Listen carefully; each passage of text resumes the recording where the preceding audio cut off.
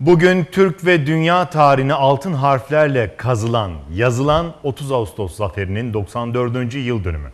Bundan tam 94 yıl önce 30 Ağustos 1922'de Türk milleti Anadolu'da Haçlı işgalini bitiren büyük bir destana imza attı.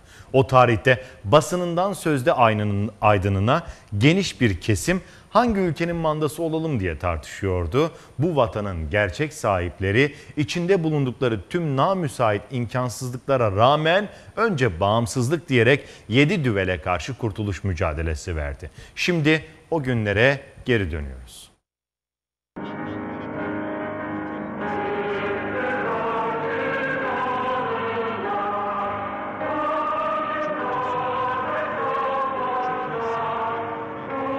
Eylül 1921'de Sakarya Savaşı'nda düşmana büyük bir darbe indiren Türk ordusu bitirici vuruşu yapmak için son hamlesini yapmak zorundaydı.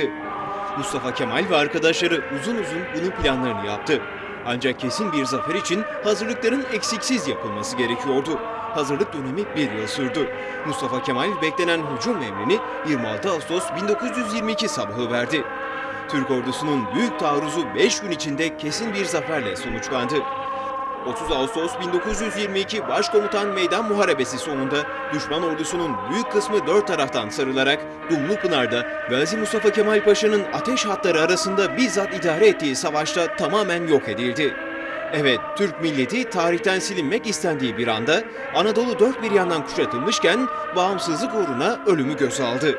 Basınından sözde aydınına geniş bir kesim hangi ülkenin mandası olalım diye tartışırken bu vatanın gerçek sahipleri içinde bulundukları tüm imkansızlıklara rağmen önce bağımsızlık diyerek 7 düvele karşı kurtuluş mücadelesi verdi.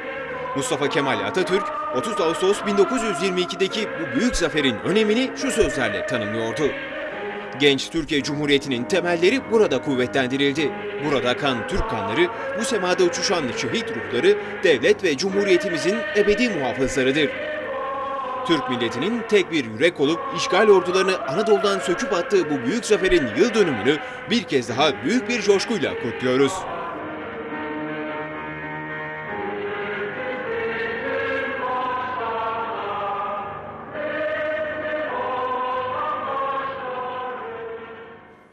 30 Ağustos Zafer Bayramı münasebetiyle devletin zirvesi Anıtkabir'i ziyaret etti. Cumhurbaşkanı Erdoğan'ın Anıtkabir özel defterini yazmasının ardından Beştepe'ye geçildi ve kutlamalar burada devam etti.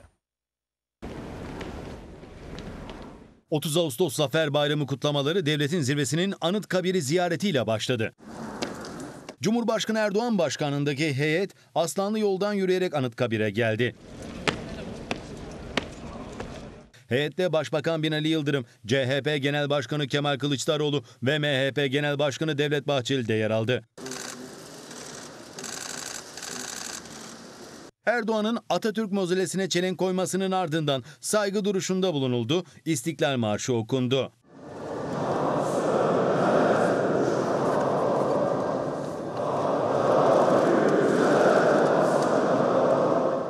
Daha sonra Misak-ı Milli Kulesi'ne geçildi. Cumhurbaşkanı Erdoğan burada özel defteri yazdı. Aziz Atatürk, bugün büyük zaferin 94. yıl dönümünü millet olarak büyük bir gurur ve heyecanla yad ediyoruz. Tüm yokluk, yoksulluk ve zorluklara rağmen Kurtuluş Savaşımızı büyük zafere ulaştıran azme ve inançla emanetiniz olan Cumhuriyetimizi payidar kılmak için var gücümüzle çalışıyoruz. Daha sonra Beştepe'ye geçildi. Erdoğan burada devlet erkanının ve yabancı temsilcilerin kutlamalarını kabul etti. Anayasa Mahkemesi Başkanı.